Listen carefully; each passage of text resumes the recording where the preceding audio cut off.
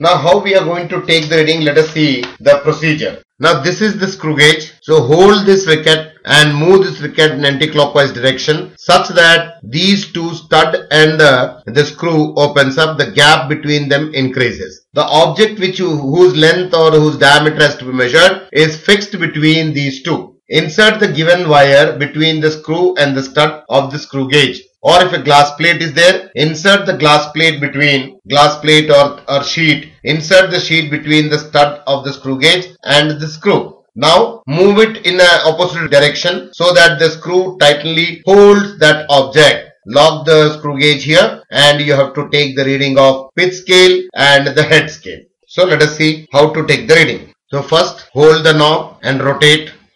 Now rotate this in such a way that here it opens up. Now fix the object between the two.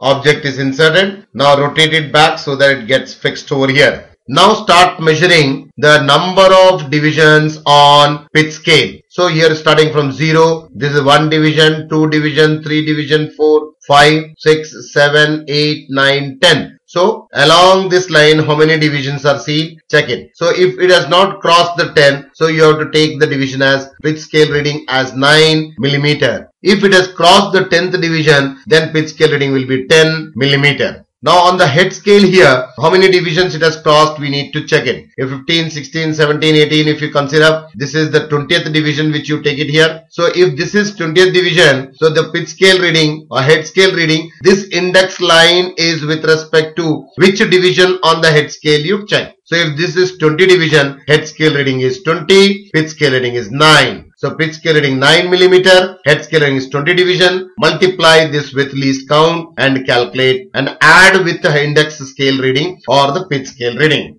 So step 1, first rotate the screw, find the pitch of the screw. That is the number of divisions moved by the screw or number of rotations by the number of rotations made. Now once you know the pitch of the screw, find the least count. Least count is equal to pitch of the screw divided by number of divisions on head scale. For example, pitch of the screw is 1 millimeter, number of division is 100. We can write this as 0.01 millimeter. Third step, find the zero error. It can be, if possible, zero error positive or negative or what type of zero error it is there. So find the zero error if any. So sometimes the instrument will not have zero error. Step 4. Now insert the given object between the screw and the stud of the screw gauge. Move the screw forward by rotating the ratchet till the object is gently gripped between the screw and the stud. Stop rotating the ratchet the moment you hear a click sound.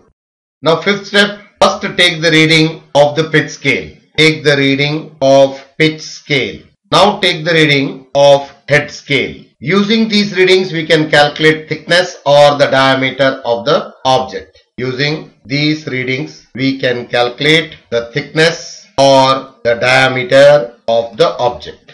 Subtract or add. Zero error if any. With proper sign to get the corrected value of the diameter or the thickness of the object.